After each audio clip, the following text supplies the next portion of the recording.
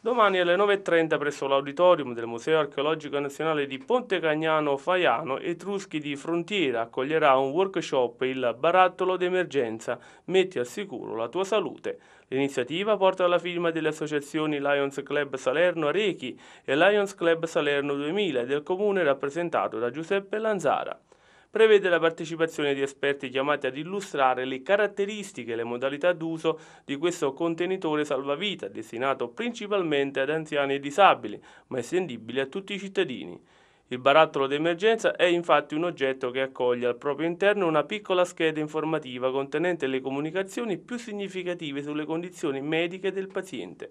Il barattolo d'emergenza è un'iniziativa a cui tiene molto l'assessore alle politiche sociosanitarie Roberto Michele Di Muro con il sindaco Giuseppe Lanzara.